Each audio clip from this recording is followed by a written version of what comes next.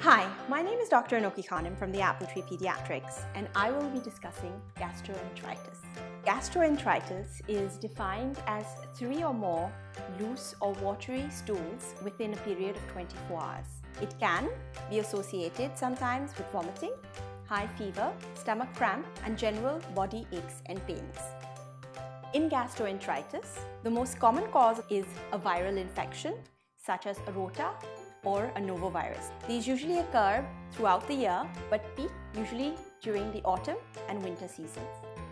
When a child suffers from gastroenteritis, be it viral or bacterial, it usually results in a sloughing or damage of the skin surface inside the intestines, resulting in release of water and therefore the resulting diarrhea.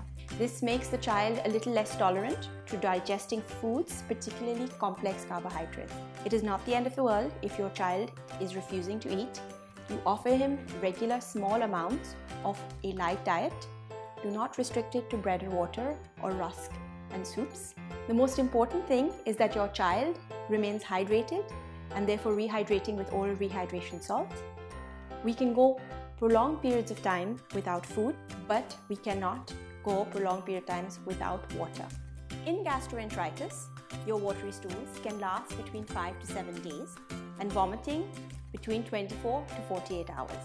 Treatment for gastroenteritis is oral rehydration and nothing else. After vomiting, I usually advise parents to wait at least 20 minutes to half an hour to allow the stomach to settle and then offer the child spoon-wise or in an oral syringe about 5 to 10 milliliters of ORS every 5 to 10 minutes.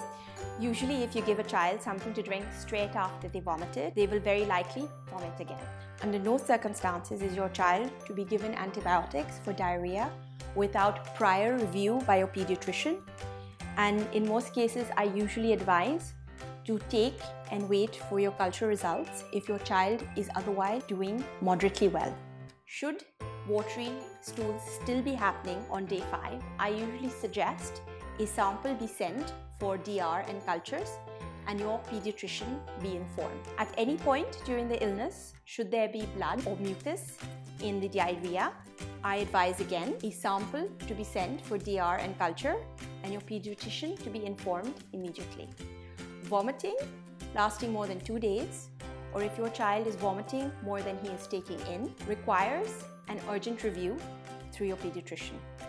Signs of dehydration in your child is a dry tongue, no tears, and increased sleepiness.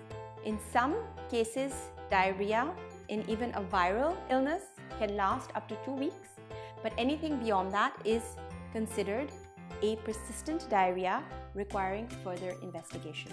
So in summary, gastroenteritis is most commonly caused by a viral infection it is an indication that there is a bug in the system which needs to be purged. Therefore, your child is passing loose stools and sometimes vomiting.